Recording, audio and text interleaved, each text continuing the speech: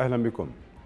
يعد العراق من أعلى الدول في معدلات الفساد الإداري والمالي ويتصدر تفشي الفساد في جميع المؤسسات الحكومية فيما توجه أصابع الاتهام إلى كبار المسؤولين السياسيين الذين تحاصرهم تهم كبيرة وكثيرة. شملت سرقة المال العام والتلاعب بملفات الاقتصاد والأمن والقضاء والخدمات مما انعكس سلبا على العراق والعراقيين. بينما أشارت الأمم المتحدة إلى أن الطبقة السياسية الحاكمة في بغداد فشلت حتى الآن في وضع المصلحة الوطنية فوق كل شيء. الأمر الذي جعل الفساد وحشا كاسرا حفر في السنوات العجاف الماضية جذورا عميقة لا يمكن السيطرة عليها فضلا عن اقتلاع تلك الجذور إذا لم تكن هناك إرادة سياسية. ولا يبدو على المدى المنظور أن ثمة نية لدى السلطات الحاكمة الحالية وميليشياتها في أي إصلاحات. مشاهدينا الكرام نضع اليوم تحت الضوء ملف الفساد في العراق ونتساءل فيه. لماذا الفساد المالي والإداري سمة النظام السياسي في العراق؟ من له المصلحة في استمرار منهجية الفساد؟ وما تداعيات بقاء نظام المحاصصة الفاسد؟ ما تداعيات بقائه على العراق وعلى العراقيين وعلى الأجيال القادمة؟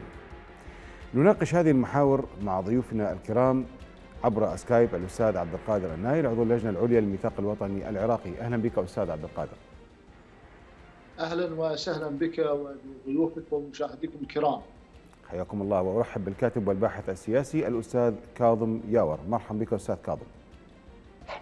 مرحبا بكم حياكم الله أهلا وسهلا. كذلك أرحب بالكاتب والباحث السياسي الأستاذ أحمد العلواني، أهلا بك أستاذ أحمد. أهلا وسهلا بك وبضيوفك الكرام ومشاهديكم الأعزاء. حياكم الله، مشاهدينا الكرام بداية نتابع هذا التقرير، كونوا معنا. منظومة الفساد في العراق لا تقتصر على جهة أو مؤسسة معينة، بل ثمة أزمات تجتاح جميع المفاصل والقطاعات، وعلى رأسها السلطات التشريعية والقضائية والتنفيذية. نواب في البرلمان العراقي الحالي أكدوا أن ما يجري من فساد في الموانئ العراقية يمثل سرقة قرن مضاعفة، وأن حجم الخروقات المالية والإدارية في موانئ العراق كبيرة وتوازي سرقة القرن وتعبرها بمراحل. مبينين أن الاقتصاد الوطني يستنزف بسبب الفاسدين فيما أشاروا إلى وجود ضغوط كبيرة تفرض على اللجنة التحقيقية بعدم كشف خفايا ما يحصل في الموانئ من سرقات. بينما تحدثت رئيسة لجنة النزاهة والرقابة المالية في مجلس محافظة البصرة عن حجم الفساد الكبير وأن هذه الظاهرة تعد المشكلة الرئيسة في عموم العراق. وأشار نواب أن هناك خشية من خراب العملية السياسية إذا ما تم كشف أسماء المتورطين في سرقة الأمانات الضريبية المعروفة بسرقة القرن قطاع الزراعة هو الآخر يتهدده التصحر بنحو 55% من المساحة الكلية للأراضي بحسب وزارة الزراعة الحالية فضلا عن تجريف أكثر من ثلاثة ملايين نخلة في محافظة البصرة فقط بسبب الفساد. فيما أعلن برنامج الأغذية العالمي أن وضع الأمن الغذائي في العراق غير مستقر. فضلا عن التداعيات السلبية التي تعانيها الأسواق العراقية بسبب تذبذب أسعار الصرف وعدم استقرارها ما تسبب بارتفاع متسارع لأسعار السلع والخدمات. فيما تؤكد العديد من التقارير الدولية أن اضطراب الأسعار الذي تعانيه السوق العراقية يعود إلى القرارات غير المدروسة من قبل الحكومة. التي تسببت في تضخم السوق الموازية ووقوف أحزاب وميليشيات متنفذة خلفها وتحقيق أرباح طائلة من بيع الدولار للسوق الموازية. وجود إيرادات سياسية فاسدة تعرقل فتح ملفات الفساد ضد كبار المسؤولين المتورطين وتواطؤ المجتمع الدولي بالسكوت عما يجري في العراق يجعله يغرق في بحر من الأزمات التي لا تنتهي.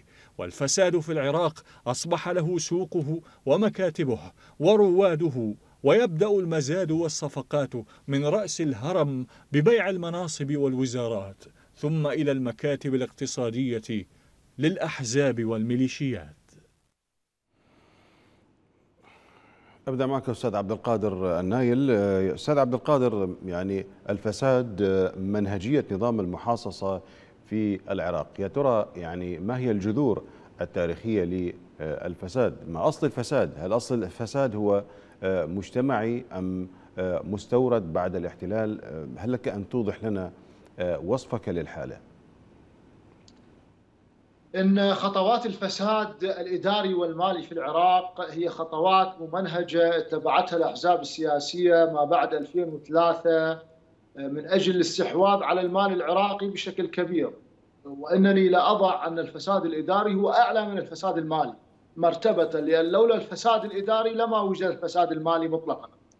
وعلى هذا الأساس حقيقة هذه الأحزاب تعلم أن مستقبلها مع الشعب العراقي هو مستقبل لا وجود لهم فيها.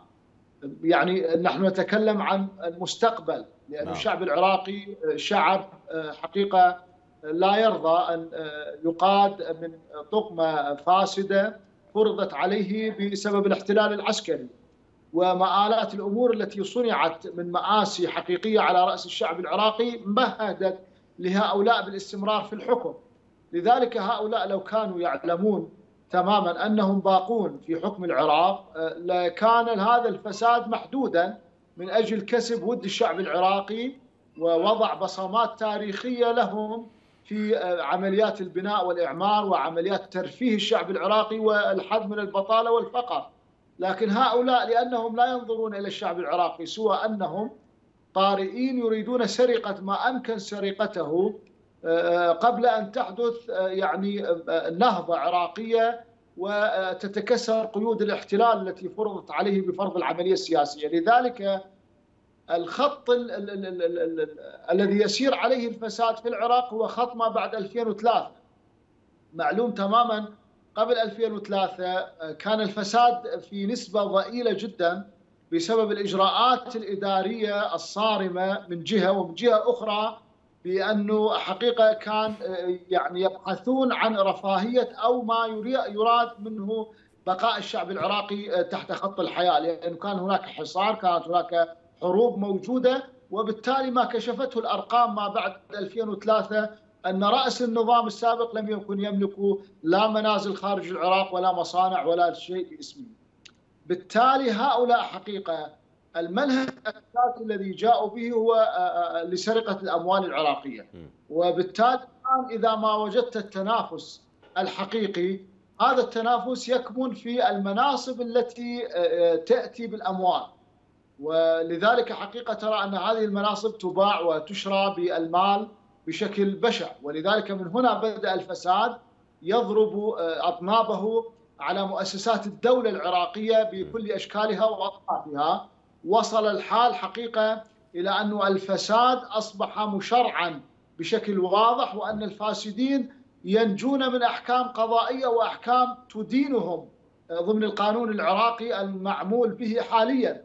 ولم نرى أن هناك فاسدين كبار تم الحكم عليهم بالعكس كلهم يخرجون. وإلى هذه اللحظة عندما أقول أن الفساد الإداري هو البوابة الرئيسية لكل الفسادات في العراق بأنواعها بانواع الفساد في العراق سواء مالي أو غيره نجد انه إلى هذه اللحظة لم تتمكن بل بقصد اللجان البرلمانية لهذه الأحزاب السياسية من إيجاد الحسابات الختامية لكل حكومة ولكل موازنة معلوم تماما أنه أصغر ربما حتى المحل البسيط الشخصي نعم. يجد لنفسه حسابات ختامية في نهاية هناك موروثات شعبية هناك يرى. أستاذ عبد القادر إذا سمحت لي هناك موروثات شعبية قيلت في الماضي مثلا علي بابا والأربعين حرامي هذه قصة مقترنة بالموروث في العراق أيضا مثلا حاميها حراميها فلش وكل خستاوي يعني بغداد مبنية بتمر فلش وكل خستاوي.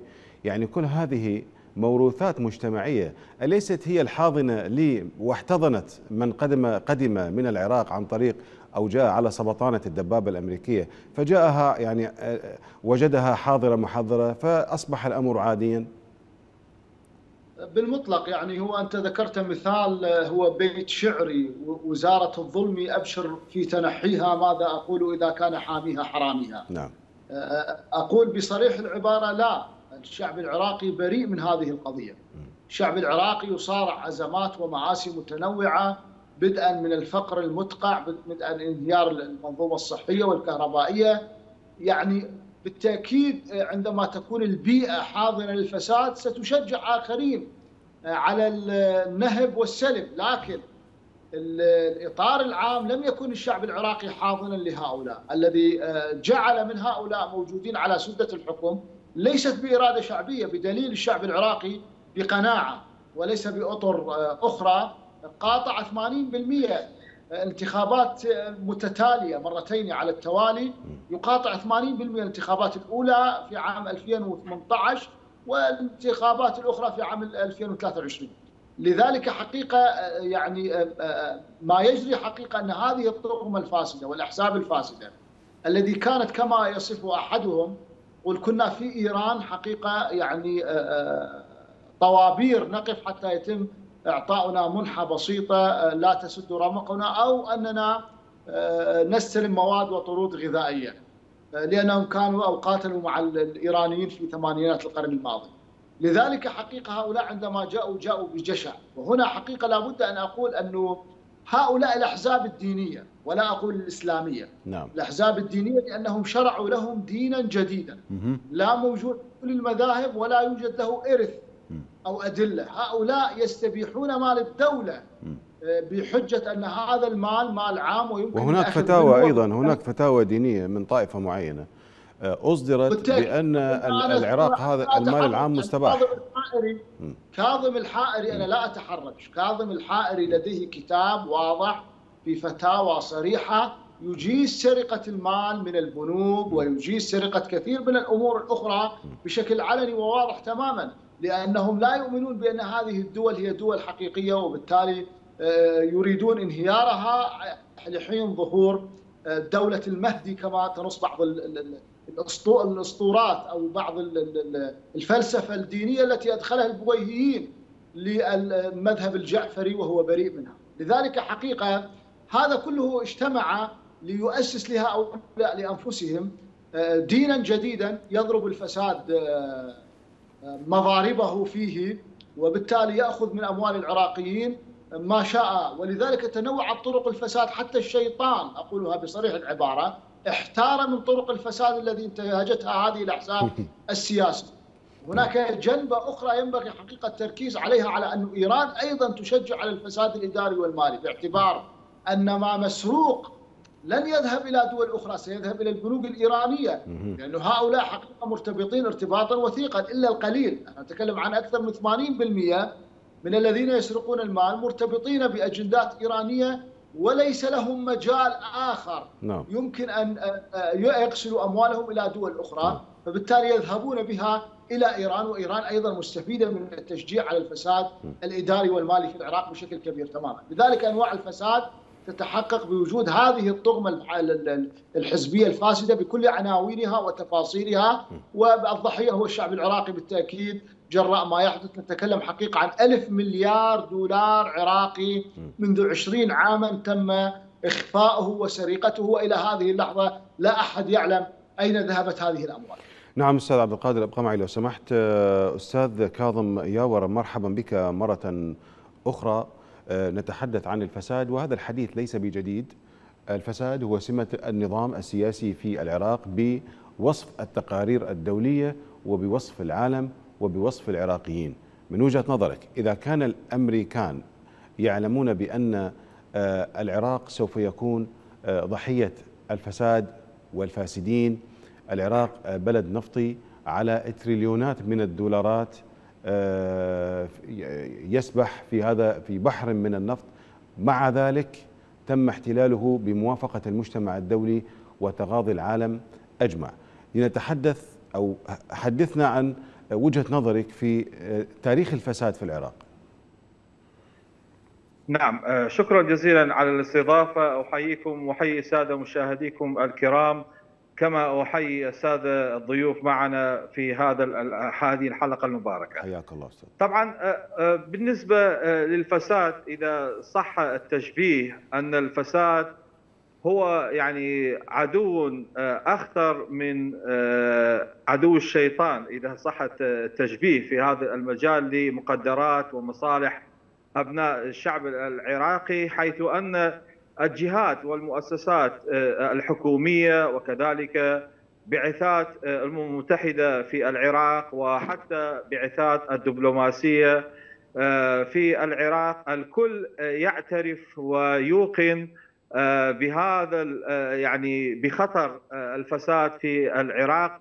فلو أخذنا بعض المؤشرات حقيقيه لما أقول منها يعني برنامج الحكومي منهاج الحكومي وضعها حكومة العراقية مع برلمان العراقي وتم التصويت عليها وفيها إقرار بتفشي الفساد في مؤسسات الدولة العراقية ووضع بعض الخطوات من أجل تخفيف ومحاربة الفساد. وبالنسبة لبعثات الأمم المتحدة كل إحاطة تم بها من قبل ممثلة أمم متحدة في العراق كانت فساد يعني تساوي أو يعني في مرتبة خطر الداعش بحسب إحاطة أمم متحدة في العراق. وكذلك مثال على بعثات الدبلوماسية في العراق. مؤخرا رأينا أن سفيرة ألمانيا في العراق أقرت واعترفت في لقاء تلفزيوني أن الشركات الألمانية قد تم ابتزازها من قبل العراقيين سواء يعني أفراد حكوميين أو تجار بهذا الصدد أو أحزاب يعني تعود هذه هذه التجار إلى تلك الأحزاب. اذا هذه المؤشرات الحقيقية نطرحها وننقلها من أرض الواقع. يدل دلالات قوية أن تاريخ الفساد في العراق لا نذهب يعني إلى إلى تاريخ الدولة العراقية. هذا الشيء لربما لديه أبحاث أو لقاءات أخرى ولكن ما يعنينا نحن عراق ما بعد. 2003 عراق يعني ما بعد إقرار الدستور العراقي والعملية السياسية في العراق ما لها وما عليها. لابد أن يكون حوارنا ويعني حلول التي نطرحها بهذا الصدد. وأن لا نقارن العملية السياسية بتاريخ الدولة العراقية. طبعا. نعم هو التاريخ آه التاريخ نعم. هو أمر مهم جدا ومنه الانطلاق والذي طبعا يعني مع تقديري آه لكم جميعا ضيوف الكرام والمشاهدين الكرام نعم. الذي لا يفهم تاريخه لا يمكن له أن يصنع مستقبلا الانطلاق من التاريخ يعني هنا عندما يعني نحدد نقاط ضعف لابد من الرجوع لمستويات المقارنة لكي نكتشف لماذا هذا الانحدار؟ لماذا هذا المنحنى ذهب إلى هذا الاتجاه السفلي لذلك نحن يعني نقارن. فالمقارنة يعني على وجه المقارنة فقط وليس موضوعنا فقط نعم. طبعا نحن المقارنة ولكن نتحدث عن ال ال ال لماذا أصبح الفساد هو سمة نظام سياسي في العراق بعد عام 2003 تفضل. نعم. نعم. ما أردت قوله يعني 20 سنة في تاريخ الشعوب والإدارة ليست بشيء قليل بل يعتبر الآن هذا تاريخ يعني 20 سنة كذلك يعتبر تاريخ. فالولايات المتحدة الأمريكية والدول يعني مهتمة بعملية السياسية في العراق ما رأينا منهم في تعاملهم مع العملية السياسية في العراق عليها شوائب كثيرة. لربما في بعض الأحيان كان لهم دخل في تشجيع الفساد من حيث مثلا فيما يتعلق بالصادرات النفطية وكذلك فيما يتعلق يعني مصروفات جدا كبيرة في يعني في شراء أسلحة لربما العراق لم تكن بحاجة إليها أو كانت أصلا هذه الأسلحة فاسدة. من بعض الدول ليست شرطا من قبل الولايات المتحدة الأمريكية قصدي من الشركات الأمريكية بل كانت أمريكا على علم أن العراق تستورد من بعض الدول أسلحة غير أو أجهزة أمنية كانت فاسدة بطبيعة الحال في بغداد رأينا مثلا أجهزة سونار كانت لا تستطيع يعني معرفة أو قياس خطورة المتفجرات في في شوارع بغداد ومناطق بغداد. كانت هذه يعني الفساد سبب رئيسي في أن تكون هناك ضحايا من أبناء الشعب العراقي وامتدت كثيرا هذه الأمور. إذا الجهد الدولي ليست شرطا في يعني في مساعدة العراق في عملية مكافحة الفساد.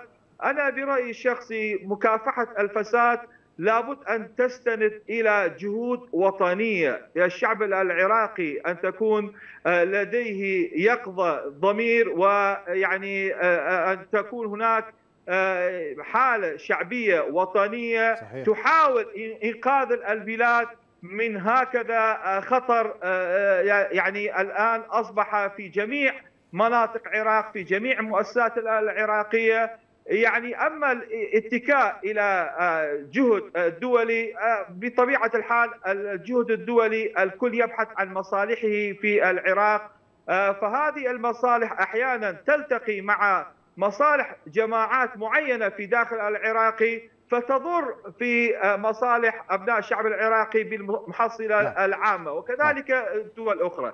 اذا الحالة الحقيقية العراقية لابد أن تكون هي السائدة لكي تتخلص أبناء الشعب العراقي ومؤسسات العراقية من هذه الفساد.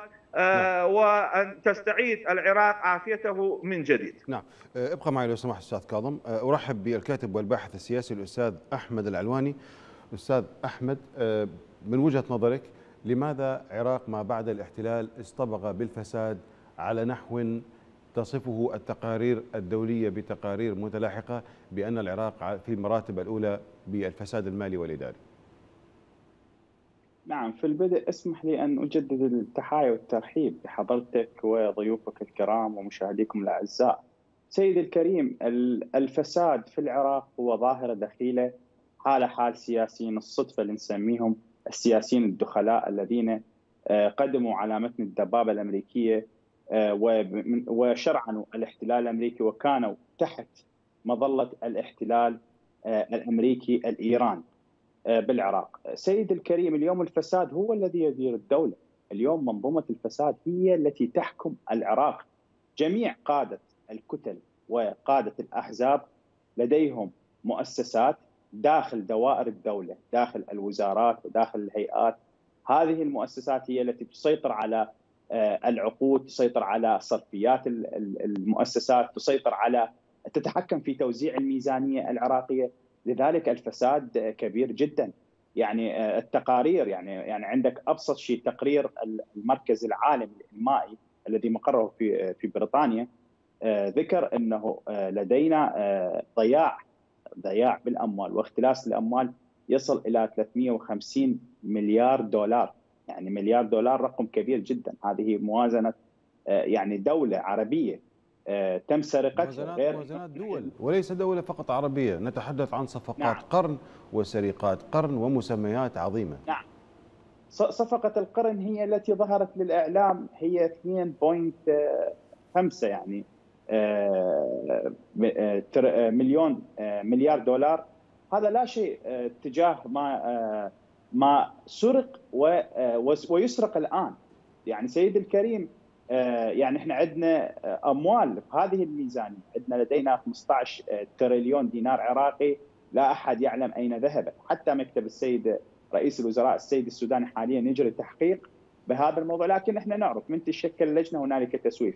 لدينا هيئة النزاهة، هيئة النزاهة هنالك الكثير من القضايا التي اكتسبت يعني الحكم النهائي ولم ينفذ. يعني محافظين لدينا يعني محافظين من عندهم محافظ بابل محافظ الأنبار محافظ الموصل محافظ بابل وصلت 62 دعوة قضائية بتهمة فساد واختلاس وسمح له بممارسة العملية السياسية والدخول بالانتخابات وتشكيل والدخول بكيان سياسي. يعني حتى هذا مخالف للدستور ومخالف للقانون أليس ذلك من وجهة نظرك؟ طبعا أستاذ يعني آه، أحمد العلواني آه، البعض يقول بأن من يدير عمليات الفساد التريليونية في العراق نتحدث عن تريليونات الدولارات وليس الدنانير نتحدث عن آه، عمليات فساد وصفت بسرقات القرن. يعني ألا تعتقد بأن من يقود هذه العمليات هو الدستور أو ليس الدستور القانون الذي من المفترض أن يطبق آه، الدستور آه، أليس من يقوده هو اللجان التحقيقية؟ أليس من يقوده آه، هو لجان المتابعة في المؤسسات التابعة للحكومة؟ يعني بشكل عام أليس القانون هو من يقود عمليات الفساد؟ سيد الكريم القضاء لدينا معطل تماما. نعم. غياب غياب القانون وغياب تطبيق العدالة في العراق هو السبب الرئيسي في آه، انتشار ظاهرة الفساد وليس ظاهرة وإنما أصبح مستشري أصبح ظاهرة طبيعية تحكم النظام السياسي وتغلغلت في جميع مفاصل الدولة وأثرت على حتى على المواطن العراقي حتى على حياة المواطن العراقي البسيط. سيد الكريم يعني ضيوفك الكرام آه، يعني آه، تقدموا بكثير من المعلومات القيمة نعم. لكن ليس فقط إيران اليوم هي المستفيدة من الأموال آه، أو تدعم الفساد، حتى الولايات المتحدة الأمريكية هنالك شركات للوبي يتم دفع لها أموال وقسم من عندها آه، تابعة إلى يعني حتى الكيان الصهيوني. سيد الكريم إحنا عندنا في شهر فبراير وقع تم توقيع العقد مع شركة سكواير فوكس اللي هي مقرها في تل أبيب من قبل السفير العراقي في واشنطن السيد خير الله آه، عبد الله خير الله آه، وبتوجيه من السيد السوداني. آه، اليوم الأموال التي تدفع إلى أوروبا وتدفع إلى إلى أمريكا وتذهب إلى جيوب مسؤولين في في هذه الأنظمة لدعم العملية السياسية. غير إنه إحنا عندنا لدينا طريقة معقدة جدا من خلال عملي مع بعض مراكز البحوث اكتشفنا طريقة معقدة جدا لنقل الأموال. من عندها طبعا ومتورطين بها برلمانيين وبالوثائق بالأدلة وبالوثائق. آه، وثائق قسم من عندها بريطانية وقسم من عندها أمريكية. لأن حسب البنوك طبعا وحصلنا عليها بطريقة آه، من خلال مراكز بحوث مرخصة بالعمل بهذا الجانب. سيد الكريم ينقلون الأموال من العراق آه، يشترون جواز هنالك جزر تبيع الجواز من 200 ألف إلى 250 ألف دولار ويذهب ويسجل آه، اسمه بهذه الجزيرة ويحصل على جواز مدة يعني عن طريق مكتب محاماة أيضا آه، لمدة آه، أسبوعين يحصل على الجواز ثم ينتقل إلى بريطانيا وهنالك يسجل يفتح حساب بنكي بهذا الجواز باسمه. أعضاء طبعا برلمان رصدنا هذه العملية وبعدها بستة أشهر طبعا وينقل الأموال بحساب رسمي نظامي ثم بعدها بستة أشهر يغير اسمه يحوله إلى اسم أجنبي ويغلق حسابه في البنك الأول ثم ينقل الأموال إلى المو... إلى بنك آخر. محترفين آه وهو... نعم. وهنا عندما تصدر حتى أوامر القاقبض للأنتربول الدولي آه لن تنفذ لأن ولا أن تغلق حساباتهم لأن باسمه الأجنبي. من عندهم؟ من عندهم. السيد محسن المندلاوي باستيري في العراق عراقي وفي آه، بريطانيا باستيري ويمتلك آه، مقاهي ويمتلك سلسلة فنادق وكثير من عندهم. السيد هادي هادي فرحان حسين العامري في العراق هو هادي العامري وفي بريطانيا اسم آخر. هؤلاء هذا طبعا نموذج بسيط وغير إنه الأحزاب الأخرى الحلبوسي وغيرهم وغيرهم. يعني لديهم شبكة شبكة أصبحت دولية لنقل الأموال وغسيل الأموال. لا يمكن السيطرة عليها إن لم يكون هنالك تفعيل للقضاء العراقي. القضاء العراقي مسيس تماما. القضاء العراقي مسيطر عليه من قبل هذه الأحزاب الفاسدة. لذلك إحنا نقول الفساد هو منظومة لأنها تتحكم حتى في القرار السياسي والقرار الاجتماعي في العراق. يعني كثير من الأساليب اليوم لدينا مشخصة بالوثائق آه، يعني آه، تشير إلى أنه الفساد أصبح أصبح غير مسيطر عليه تماما من قبل الحكومة العراقية ولا يستطيع أي رئيس وزراء. ابتداء يعني حتى السيد العبادي كانت هنالك محاولات وحاول أنه يعني يحارب ولو هل هل يعني يعني لا يستطيع. العراقيون دائما ما يسألون هل يا ترى هذا الصراع أستاذ أحمد سوف أعود إليكم مرة أخرى إذا سمحت لي. أستاذ عبد القادر الصراع على المناصب هل هو من أجل إحقاق الحق ويعني تطبيق العدالة في العراق. يعني هذا الصراع على المناصب يعني رئاسة الوزراء رئاسة الحكومة الصراع على المؤسسات يعني الإدارية هذه الأمور. هل هناك حرص من السياسيين على تطبيق القانون؟ لذلك يتصارعون هؤلاء السياسيون الذين جاءوا من الشعب لم يأتوا من القمر. يعني بدءا دعني أتفق مع ضيفك الكريم الذي أشار إلى أن الفساد في العراق أصبح منظومة وهذه المنظومة هي أصبحت الدولة العميقة الحقيقية التي تقود كل الأطراف السياسية بأحزابها ومنظماتها وتشكيلاتها. نعم. يعني الذي لا يمتلك مصارف ولا لا يمتلك شركات قابضة وحسابات خارجية وداخلية لا يمكن له أن يستمر في العمل السياسي. لأنه المنظومة السياسية الحالية التي تتصدر واجهة العمل للفساد الإداري والمالي هي ليست منبثقة من الشعب العراقي، نعم هم شخوص فيهم موجودين من العراق وفيهم من خارج العراق جاءوا، لكن هؤلاء حقيقة يتم حقيقة العمل على إنشائهم ضمن بودقة القيادة الاقتصادية، فالاقتصاد سواء كان يعني اقتصادا وهو اغلبه جراء الفساد هو الذي يقود المنظومة السياسية في العراق ويحدد المناصب. والدليل على ذلك أعطيني منصبا سياديا أو سياسيا يتم منحه من خلال الاتفاقيات السياسية. ورغم هذه الاتفاقيات لكن لكل منصب سعره سواء كان لزعيم الكتلة أو مسؤول الكتلة السياسية أو للطرف الآخر المانع. يعني الآن رئاسة البرلمان هي ضمن المحاصص السياسية للمكون السني السياسي. لا يمكن لأحد أن يجلس على هذا المنصب دون أن يدفع مبلغا ماليا. عندما كان تحالف البناء تم دفع إلى أبو مهدي المهندس جمال الذي قتل مع قاسم سليماني 33 مليون دولار من كتلة الكربولي حتى يتم منحهم المجلس وتم تسليمه إلى الحلبوسي. وهكذا دواليك. المنصب الوزاري اليوم الحصة الوزارية لسين من الناس من الأحزاب السياسية بالتالي يتم تسمية داخل الحزب من الشخص. يعني محتكريها محتكريها بالمال السياسي محتكريها بالمال السياسي أستاذ عبد القادر. 100% لا يتم تسمية حتى من حزب الدعوة أو من المكون الشيعي أو الآخرين واقصد المكونات السياسية. الآن عندما يعلن حزب الدعوة على أنه يمتلك ثلاثة أو أربع وزارات هو يسعر كل وزارة. أنه رئيس الكتلة السياسية يسعر وزارة هذه الوزارة ب 10 مليون دولار، من يمتلك ال 10 مليون دولار سيتقدم لشراء الوزارة. وبالتالي هو سيشرع الفساد حتى يتم إيفاء ال 10 مليون دولار أو زيادة يستزيد بها، لذلك حقيقة المناصب في العراق ليست مناصب تتوزع على أساس الاستحقاق السياسي ولا على أساس الكفاءة ولا حتى على تقاسم المناصب الطائفية أو الحزبية، إنما على أساس من يمتلك المال لشراء المنصب، وبالتالي نرى أن الذين يتقدمون هم الذين تدعمهم أذرع اقتصادية لتمشية احتياجاتهم الاقتصادية فيما بعد.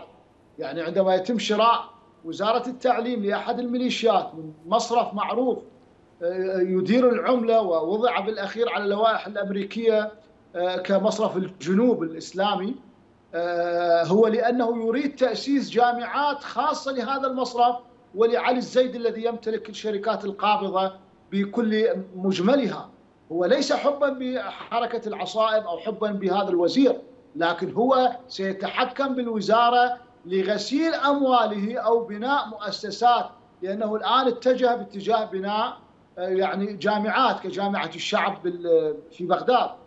اذا المنظومة الفاسدة هي التي تتحكم في توزيع المناصب السيادية والسياسية داخل العملية السياسية بشكل واضح وصريح.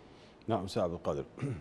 أستاذ كاظم ياور عندما يكون المال السياسي هو الذي يتحكم في مجريات المناصب والأمور الإدارية في العراق وأيضا مجريات الفساد التريليوني في العراق وازدياد نسب الفقر وازدياد ثراء الذين هم في يعني الدولة في الميليشيات في الشركات التي تتعامل معها من وجهة نظرك.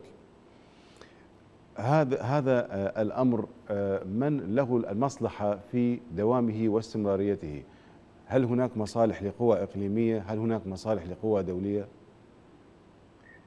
نعم قبل أن يكون هناك يعني مصالح لقوى إقليمية أو دولية أكيد هناك مصالح لفئات ترتبط مع هكذا قوى إقليمية أو دولية داخلية محلية عراقية. وهناك أمثلة كثيرة يعني ممكن ذكرها في هذا المجال. منها مثلا في شأننا الحكومي رأينا مؤخرا أن الحكومة العراقية هي بنفسها تتهم يعني البرلمان أو أعضاء في البرلمان العراقي بالتلاعب بجداول الموازنة العامة في البلاد بعد التصويت عليها. فهذا اتهام جدا كبير. اذا هناك جهات تحاول أن تستحوذ على هكذا مخصصات لمحافظات معينة. وهذه الجهات أكيد كتل سياسية. ليسوا هم من أبناء الشعب العراقي عاديين أو أناس موظفين. على مستويات دنيا في في وزارات العراقية.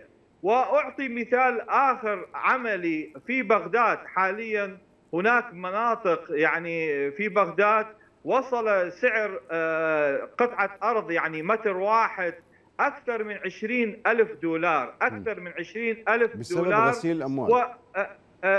يعني لو سمحت لي 20 ألف دولار في بغداد عاصمة العراق ليست عاصمة اقتصادية يعني ليست فيها شركات إنتاجية ليست فيها يعني استقرار في الطاقة الكهربائية في مياه صالحة للشرب أو في السياحة أو إلى آخره. اذا ليست هي نظيرة لدبي أو نظيرة لإسطنبول أو مدن اقتصادية عالمية. صحيح. مع ذلك لا في إسطنبول ولا في دبي وصل سعر قطعة أرض إلى هذا الحد. مما يدل دلالة أن هناك طبقة وهم أقلية حاكمة في العراق.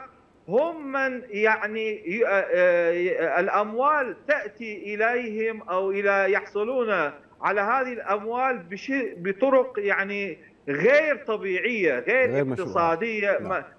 أكيد غير مشروعة لأن تجار تجار بغداد معروفين هم لا يملكون هكذا أموال لكي يشتروا هكذا. ولكن شخص دخل إلى عملية سياسية منذ عشر سنوات أو ثمان سنوات أو أربع سنوات الآن يملك ملايين الدولارات يعني حرامية المال السياسي حرامية المال السياسي.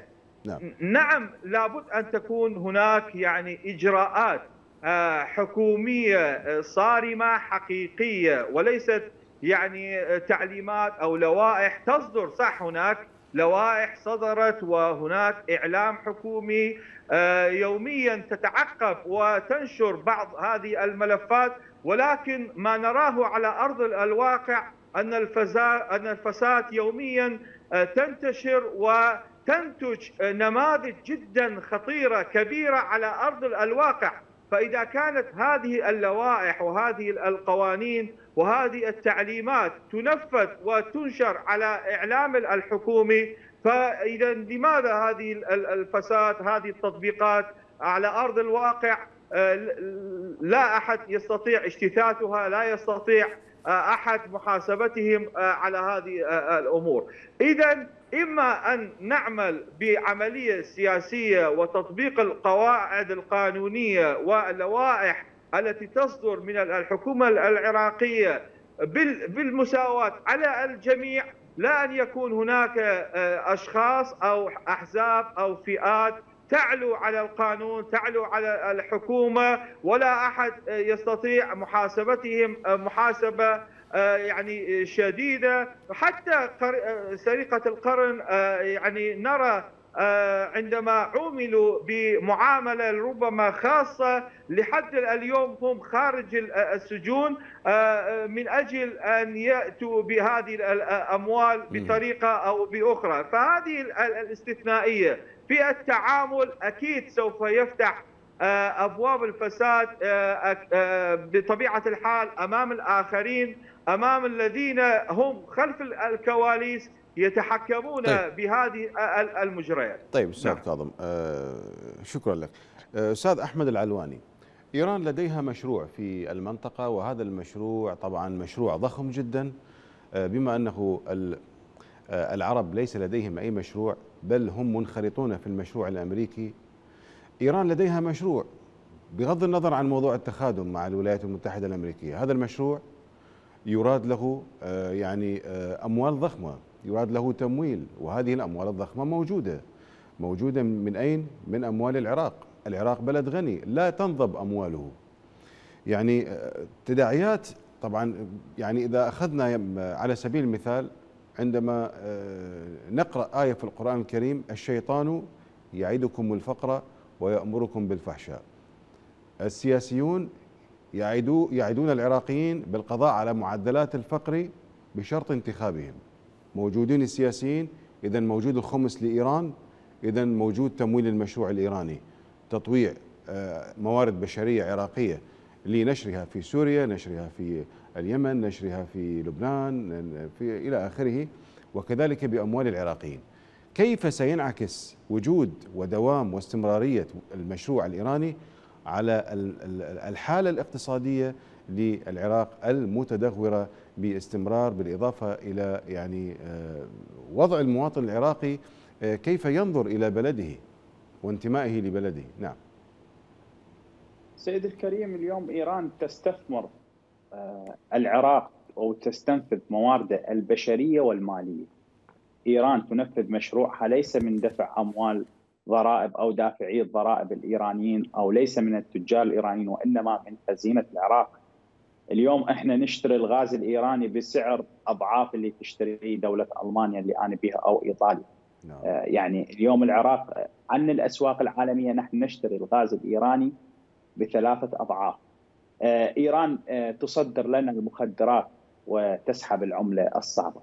إيران تأخذ العملة المطبوعة طبعا هذا في شهر كانون الأول 2023 يعني مو بعيد. إحنا عندنا 35 تريليون دينار عراقي طبعا هذا كلام محمد النوري عضو عضو اللجنة المالية في البرلمان العراقي. يجب أن يحاسب على هذا الكلام.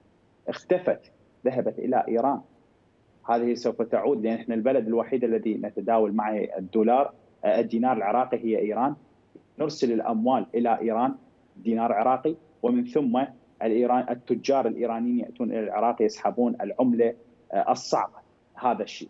آه، حتى تجنيد العناصر حتى إيران إحنا نشوف إنه ترسل الباكستانيين والعراقيين والأفغان للقتال ضمن مشروعها لكن عندما تأتي إلى إلى الإيراني وتسأله آه، يقول إحنا ما نقاتل لا من أجل القضية الفلسطينية ولا من أجل العرب بل بل بفلوس بل العراقيين؟ بفلوس العراقيين. بفلوس العراقيين نعم. وبأرواح العراقيين. نعم. نعم ينفذون المشروع بفلوس بأموال العراقيين وبأرواح العراقيين. إيران سيطرت بشكل كامل آه، طبعا بتدخل من الجانب الأمريكي، الجانب الأمريكي آه، كان لديه رؤية أنه يجب السيطرة على المنطقة ونشر قواعد العسكرية وتنفيذ مخططات من عدة حماية أمن إسرائيل والسيطرة على مناشئ الطاقة، لكن إيران تمددت على آه، آه، السيطرة على الجغرافيا والسيطرة وتغيير معتقدات ونشر الجهل ونشر التخلف في المجتمعات العربية، ليس فقط المجتمع العراقي لكن في المجتمعات العربية. وكل ذلك سوف يستمر إن لم تكن هنالك إرادة حقيقية من قبل الشعب العراقي، الشعب العراقي لا ينظر إلى أنه أمريكا اليوم سوف تأتي وتخلصه أو دول أوروبا أو دولة أخرى، يجب على الشعب العراقي أن ينهض، يجب أن يكون وقفة هنالك جادة آه، للعراقيين للحفاظ على أموالهم والحفاظ على مصالحهم والحفاظ على أرواحهم. آه، لذلك إحنا دائما يعني نتكلم من خلال قناتكم الكريمة ومن خلال الصحف ومن خلال مراكز البحوث ومن خلال حتى لقاءاتنا مع الشباب العراقيين إنه يجب أن تصنعوا آه، بديل سياسي، يجب أن تكون لديكم كلمة، يجب أن تضغطوا على أماكن صنع القرار في الولايات المتحدة الأمريكية لتغيير هذه الرؤية وهذا ما سوف يحصل إن شاء الله، لكن بشكل تدريجي، تعرف أستاذ أستاذ قاسم إحنا أمام فاعل دولي آه، وصراحة آه، حتى الشعب العراقي كانت هنالك إرادة عراقية لكن الذي أجهض الإرادة العراقية هي الجانب الايراني والجانب الأمريكي آه، الذين هم يسيطرون على العمل السياسي في العراق وكل سلبيات من فساد من فساد مالي وضياع للأرواح وانتهاك للسيادة كلها مسؤولة عنها الجانب الإيراني والجانب الأمريكي بالدرجة الأولى. لذلك يعني نحاول كعراقيين أن آه نخلص بلدنا من من من هذا من هذه من هذه الطامة الكبرى. نعم يعني العراق يعيش يعيش العراق اليوم يعيش مأساة حقيقية مأساة حقيقية جدا. يعني حتى هذه القوانين التي تشرع حتى قانون الأحوال الشخصية هو باب من أبواب الفساد. هي شرعنت بيوت الدعارة. اليوم سوف يكون هنالك مكاتب منتشرة في العراق وسوف يتحول من من رجل العمامه إلى شو تريد تسميه؟ يعني أجلكم الله مسمى آخر لقناتكم كلمة لا أستطيع اللفظ به لكن هذا هذا يطبق هذه تجارة. هذه تجارة. وصلت الفكرة اليوم نعم. يتاجر وما الجديد؟ يتاجر وما الجديد؟ يتاجر. نعم. الجديد سيد الكريم وصلوا إلى إلى مرحلة للمتاجرة حتى بأطفالنا وأبنائنا. نعم, نعم. وسكوت الشعب العراقي سوف يدفع ثمن غالي أهم من المال وأهم من من حتى أهم من الكرامة والروح. نعم. إحنا اليوم مجتمع صراحة إيران يعني تنتهكه أمريكا تنتهكه وصل بشكل وصل الحال.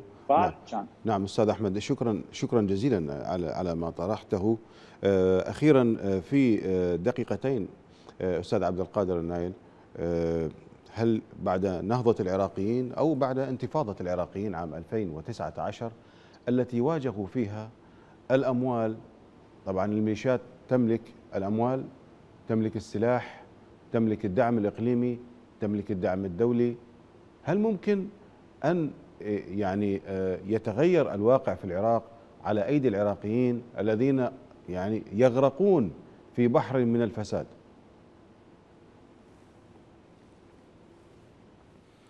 أستاذ عبد القادر للأسف فقدنا الاتصال بالأستاذ عبد القادر. أتحول بالسؤال للاستاذ كاظم ياور في دقيقة ونصف لو سمحت. سمعت سؤالي. هل ممكن أن يكون هناك أمل؟